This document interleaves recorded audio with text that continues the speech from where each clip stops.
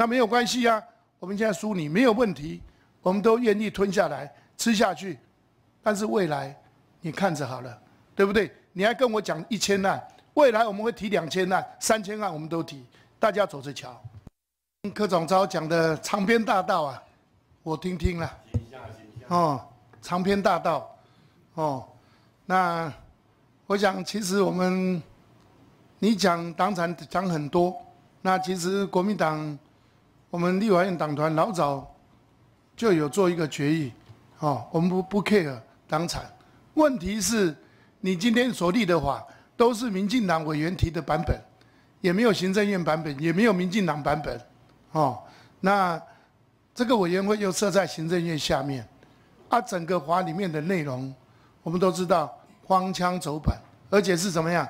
他是人家是无罪推定论，他是已经把你设定，你绝对都是有罪。我们今天 care 的是这一点，认为说你要立一个法，为什么设在行政院下面？行政院不敢提版本，哦，那那个民进党也不敢提版本，而且每一条文都有修正动议。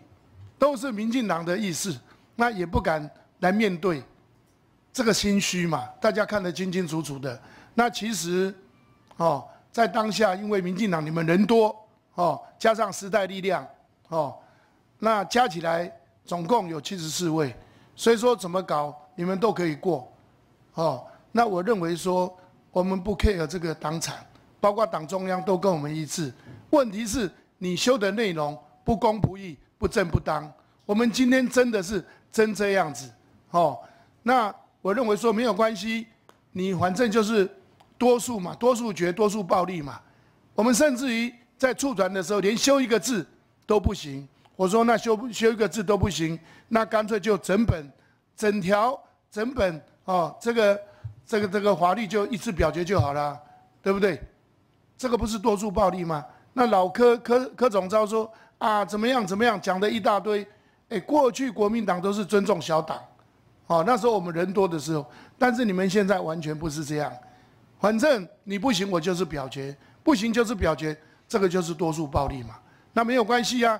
我们现在输你没有问题，我们都愿意吞下来吃下去。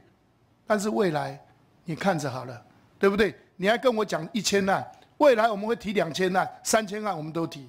大家走着瞧。然后今天哈，我们不会签字，因为我们党团大会还没有开。哦，今天不是说你决定怎么样，我们就怎么样配合。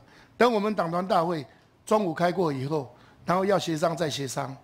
哦，今天我们不会签字，我很清楚的的表达。哦，我们今天不会签字。